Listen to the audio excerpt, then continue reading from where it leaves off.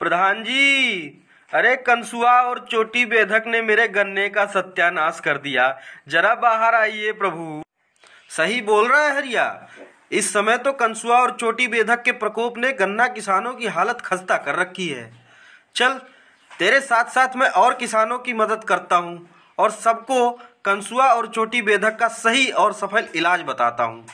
प्यारे किसान भाइयों कंसुआ और चोटी बेधक कीटों का प्रकोप जब दिखाई देने लगता है तो उसमें सिर्फ़ और सिर्फ़ एक कारगर दवा है जो काम करती है, उसका नाम है कोराजन।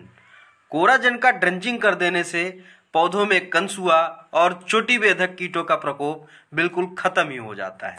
मेरे कुछ किसान भाई कोराजन का गलत तरीके से इस्तेमाल करते हैं तो मैं उनको बता दूँ, कोराजन का छिड़काव रेत या खाद में मिलाकर बिल्कुल नहीं करना चाहिए। और इसकी मात्रा ना तो घटानी चाहिए और ना ही बढ़ानी चाहिए। और साथ ही साथ खेतों को बिना सिंचाई किए नहीं छोड़ना चाहिए। कोराजन का सही प्रयोग है आगे की नोजल खोलकर लाइनों में ड्रंचिंग करना। साथ ही साथ 150 मिलीलीटर कोराजन प्रति एकड़ का इस्तेमाल करना चाहिए।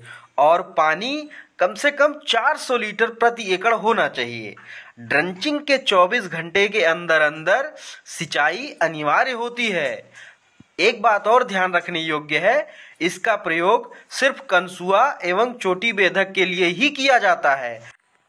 एक और राज की बात बताऊँ, कोराजन सदा सुगर मिल के माध्यम से ही लेना चाहिए, क्योंकि दवा भी छूट पे मिल जाती है असली मिल जाती है और साथ ही साथ वहाँ के अधिकारियों, कर्मचारियों की मुफ़्त सलाह भी मिल जाती है।